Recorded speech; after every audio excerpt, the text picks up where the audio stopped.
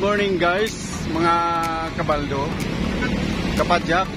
Dito muna tayo sa may area ng Cross Boulevard, sa may Biwok. Kung mapansin niyo guys, sa likuran ko ito yung canyon, canon.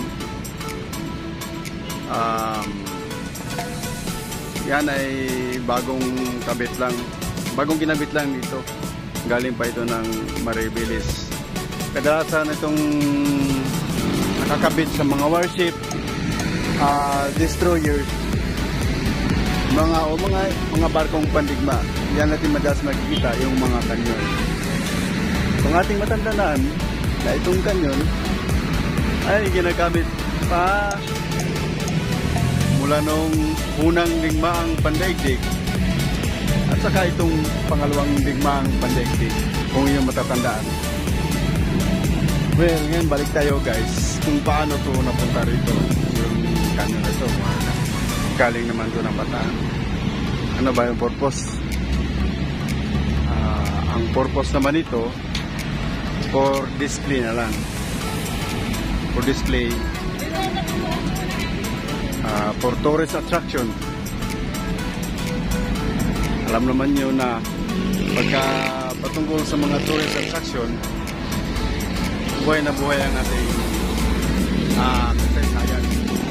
Kasaysayan ng uh, Pilipinas noong ikalawang digmang pandaigdig kung paano pinaglaban ng ating buong Amerikano at buong Pilipino bilang last defense pinakauling pinakauling depensa ng bataan. And guys, Imagine lang ninyo ang kakayanan ng isang kanon o kanyon. Yan guys. Magiging makasaysayan bilang pag-alala sa ating mga bayani. Ating mga huling tropa sa doon sa bandang Bataan. Kung paano nagpaglaban ang ating mga bayani para sa ating kalayaan. Yan. Nag-iisang instrumento, nag-iisang saksi kung paano ang nangyari, paano ang naging labanan ng panahon ng gira ng kalawang bigmang pandaigdig.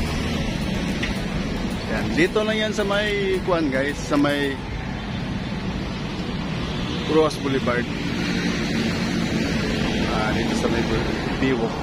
Hindi nga lang lang tayo makalapit kasi yun nga, nakabakot ko eh. Hindi mo pwedeng uh, lapitan. Uh, pagkos, pwede mo siyang mapicturan. Uh, pwede mo siyang uh, matingnan. Pero hindi pa tayo pwedeng lumapit dahil nga dun sa uh, nakabakot ko. Hintayin na lang natin kung kailan ito maging uh, open para mawaging malapitan pwedeng ma masilayan ng malapitan. Sa likuran ko yung dagat. Kung titingnan nyo yung dagat, malinis. Kaya yan tingnan.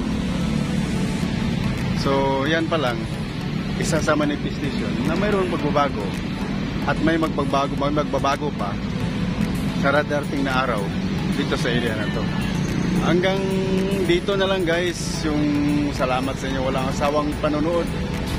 Walang sawang pagtangkilik sa aking sa ating uh, video sa ating mga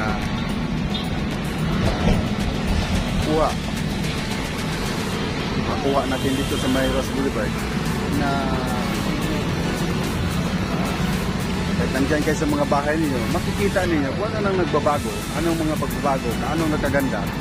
Itong Manila Bay, plus dagdagan pa ng mga naikabit dito na mga uh, is, uh, ibig sabihin, yung mga katulad ng kanyon, katulad na lang ng Dolomite. Katulad na lang ng malinis na dagat. Umasin mo yung dagat, blue na blue. Hindi katulad ng mga unang panahon na makita yung dagat, itim na itim. Yan. Wala kang makitang kalat. Yan ang mga pagbabago na ating makikita. At masilayan dito sa may Biwok. Maraming salamat sa lahat.